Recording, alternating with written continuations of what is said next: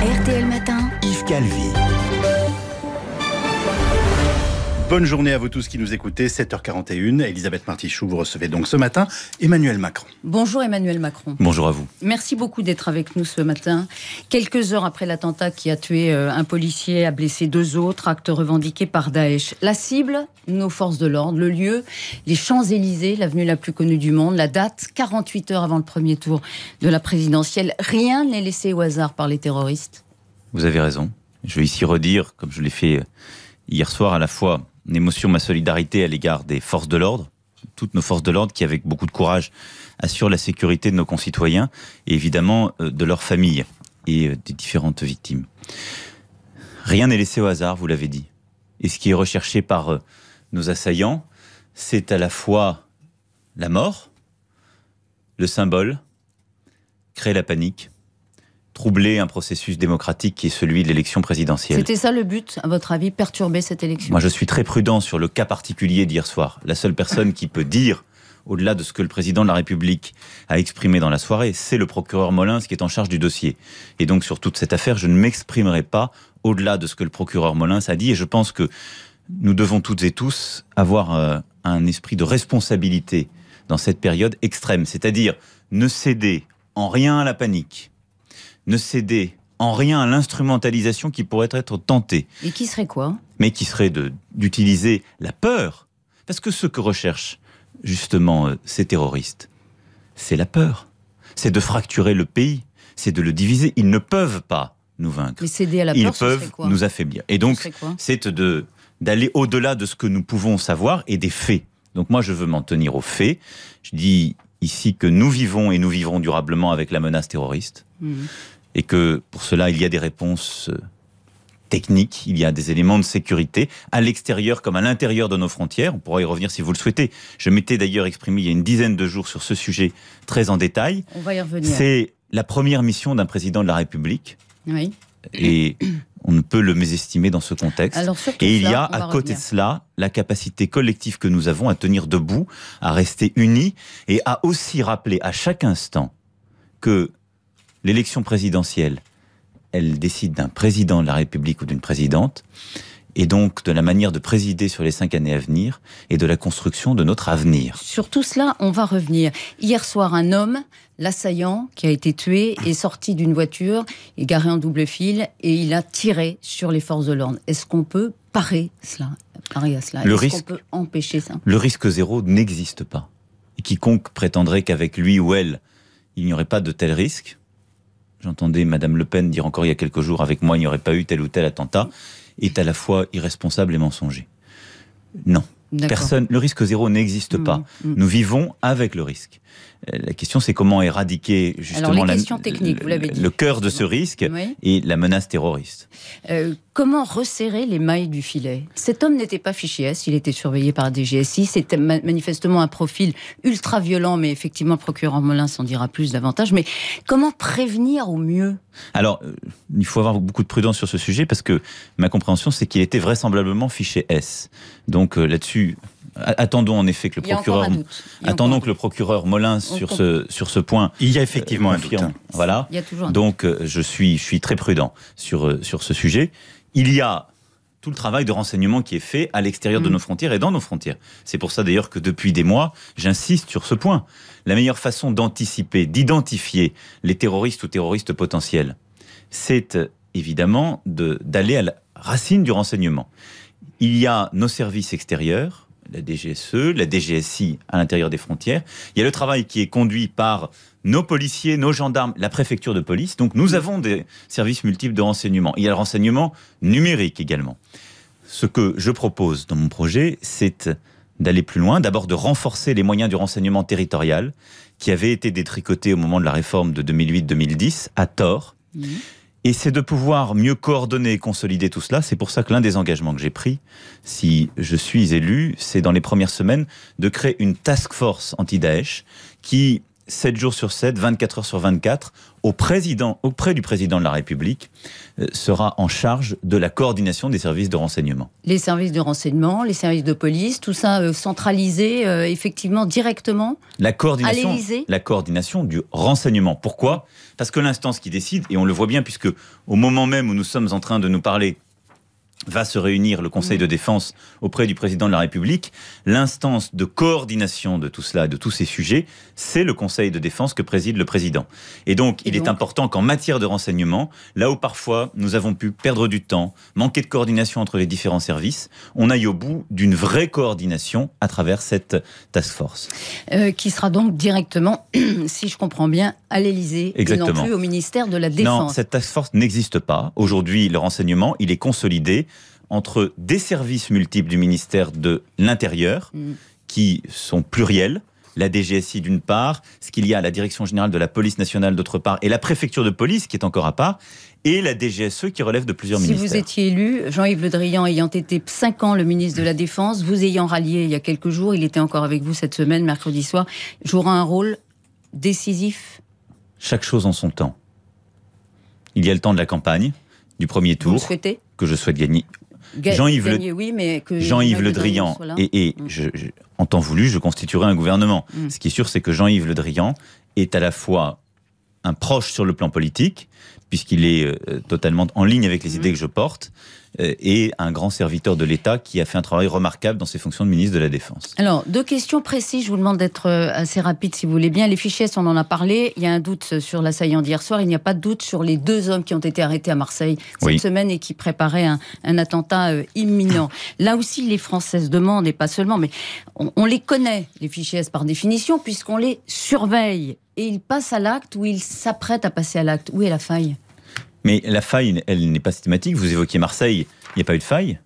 Ils ont été identifiés, ils ont été interceptés grâce au travail remarquable de la DGSI, entre autres, mais surtout de l'ensemble de nos services de renseignement et d'intervention. Qu'est-ce que, ça, qu'est-ce que ça veut dire, des fichiers S? Il y en a presque 20 000, environ 20 000 en France, pour des faits d'ailleurs multiples. Il n'y a pas que des gens qui sont potentiellement terroristes, djihadistes. Mm. Euh, là, on en, il y en aurait à peu près la moitié. Je parle avec beaucoup de prudence sur ces sujets le but, c'est un but de renseignement. Si vous les mettez tous en prison, d'abord, ça n'est pas conforme au droit, puisque mm. c'est un choix des forces de police qui veulent identifier un individu qu'ils vont suivre pour remonter une filière.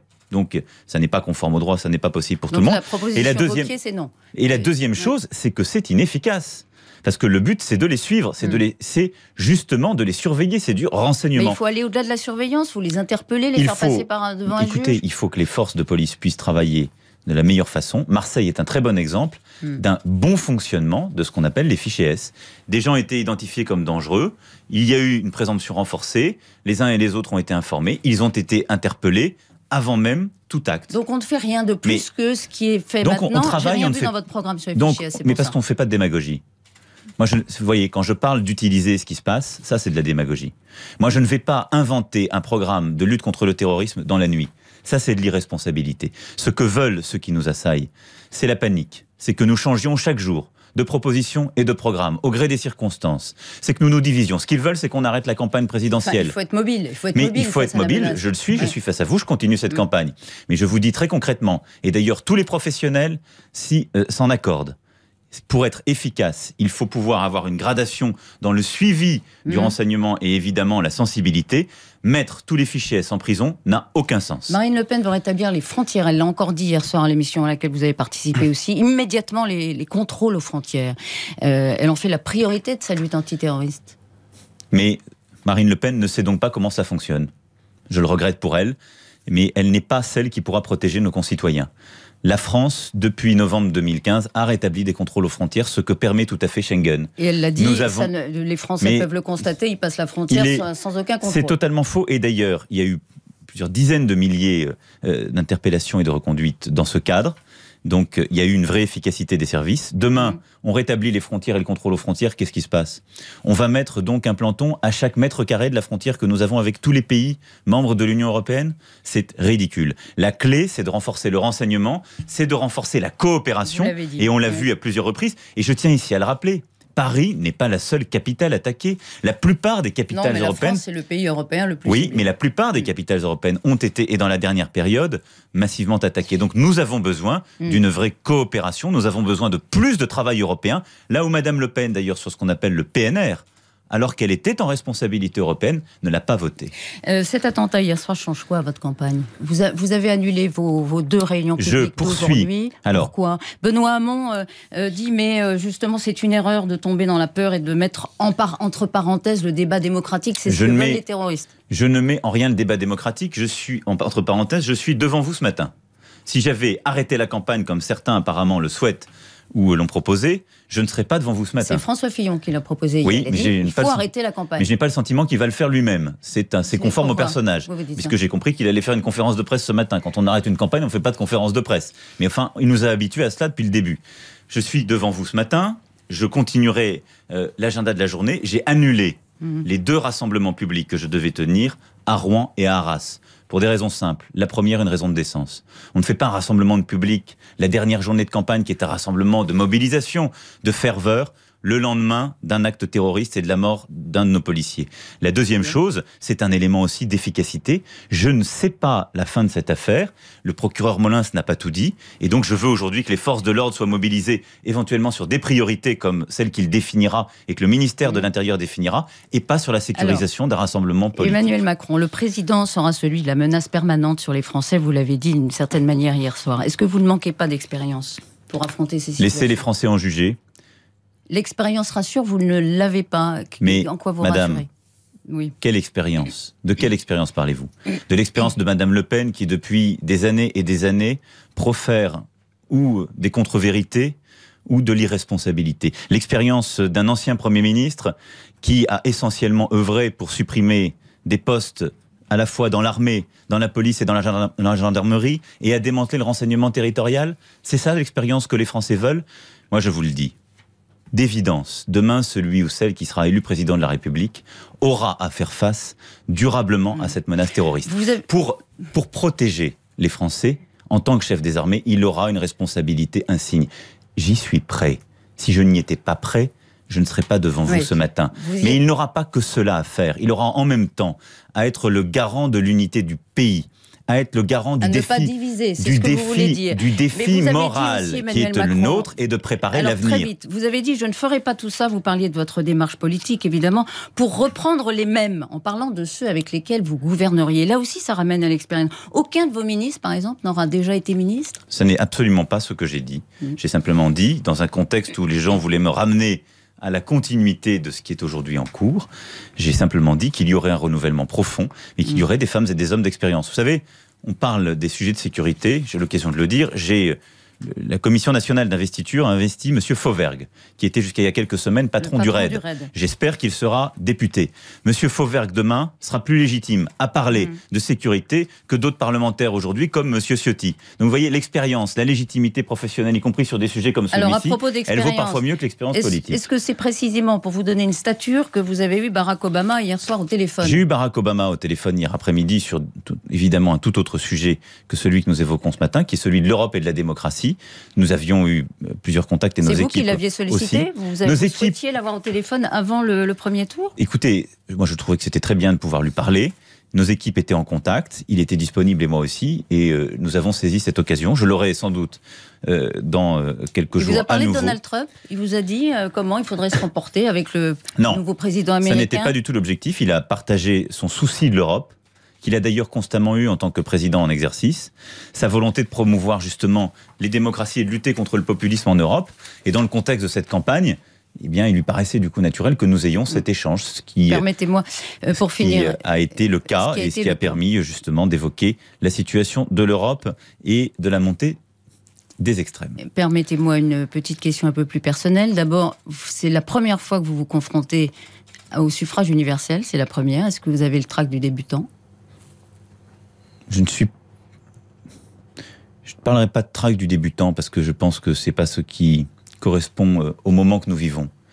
J'ai beaucoup d'humilité, celle qui euh, doit accompagner justement une circonstance comme celle-ci. J'ai beaucoup d'humilité, beaucoup de gravité parce que le moment que nous vivons est grave et en même temps, énormément d'ambition et d'envie pour notre pays. Parce que ce qui est en train de se passer, et qui évidemment est une ombre portée sur cette fin de campagne, ne doit rien enlever au fait que nous devons construire notre avenir et que nous avons un grand avenir. Vous pensez que ça va peser sur le scrutin dimanche? Sur le choix des Français? Nul ne le sait. Nul ne le sait. Vous craignez que ça soit le cas? Mais je ne crains rien. Et si vous êtes euh, euh, qualifié dimanche, c'est une question que je pose à tous les, candidats susceptibles de l'être, votre premier réflexe, votre première réaction, votre premier geste, quand vous l'apprenez, vous faites quoi? Écoutez, on verra les choses en temps voulu. J'ai une forme de superstition qui consiste à ne pas répondre par anticipation à ce genre de questions. Et ensuite, j'aime garder une forme de spontanéité. Je le ferai avec euh, le même sens des responsabilités, de la gravité et le, la même détermination que celle qui m'accompagne depuis le début de cette campagne. Et la même question si vous êtes battu si vous apprenez. J'aurai donc la même, réponse. Merci Emmanuel Macron d'avoir été notre invité euh, malgré les circonstances hier soir sur RTL. Merci à vous. Donc, euh, le dernier candidat à intervenir sur RTL et donc cette semaine, le futur président de la République s'est exprimé puisque nous les avons tous reçus sur notre antenne. Merci beaucoup. Euh, je rappelle que vous avez indiqué que vous mettriez en place une task force anti-Daesh en lien direct avec la présidence de la République en cas d'élection Emmanuel Macron et que mettre tous les fichiers S selon vous en prison ne sert aujourd'hui à rien. Merci à tous les deux. L'entretien est à retrouver sur le site rtl.fr comme chaque jour.